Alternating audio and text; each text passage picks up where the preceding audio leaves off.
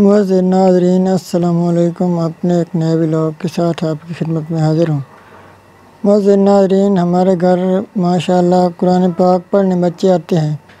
तो अब कुरान पाक बहुत ज़्यादा हो गए थे, उनके रखने की जगह नहीं थी तो हमने एक बहुत खूबसूरत अलमारी बनवाई है, यानी कि जिसमें ज़्यादा से ज़्यादा कुरान पाक आ सकें। तो आज मैं वो आपको दिखाता हूँ। बहुत इंटरेस्टिंग ब्लॉग है। लेकिन व्लॉग शुरू करने से पहले हमेशा की तरह आपसे एक छोटी सी गुजारिश है कि जैसा कि आप देख रहे हैं कि मैं बहुत गरीब और कमज़ोर आदमी हूँ तो हमारी मदद करें, मेरे चैनल को लाजमी सब्सक्राइब करें। तो आज मैं आइए आपको दिखाता हूँ कि हमने जो नई अलमारी बनवाई है, कुरान पाक के लिए अभी फिट तो नहीं हुई। जब फिट हो गई तो वो भी मैं आपको दिखाऊँगा, लेकिन अभी बन के सिर्फ़ आई है तो वो आपको दिखाते हैं। तो ये जी माशाल्लाह वो अलमारी है।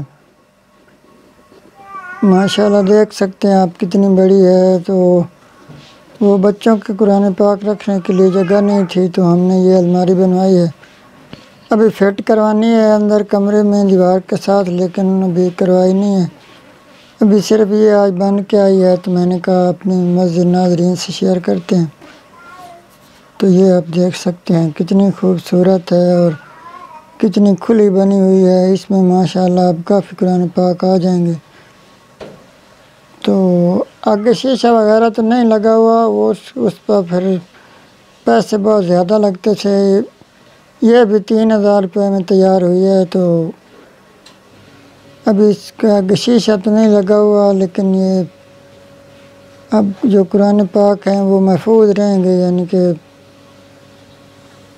पहले एक संदूक था, लेकिन उसमें कुरान पाक अब नहीं, पूरे आते थे, उसका ढकना ऊपर हो जाता था और नज़र आते थे कुरान पाक। बच्चे ज़्यादा हैं तो अब हमने ये बनवाई है। तो मैंने कहा, आज के व्लॉग में अपने नाजरीन को ये दिखाते हैं। तो आप देख सकते हैं कैसी अलमारी है, बहुत खूबसूरत है। माशाल्लाह तो मैंने कहा अपने नाजरीन को आइए अलमारी दिखाते हैं।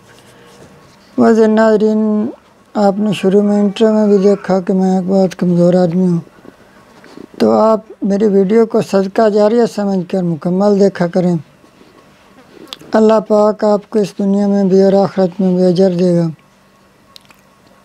और चैनल को सब्सक्राइब भी लाजमी किया करें।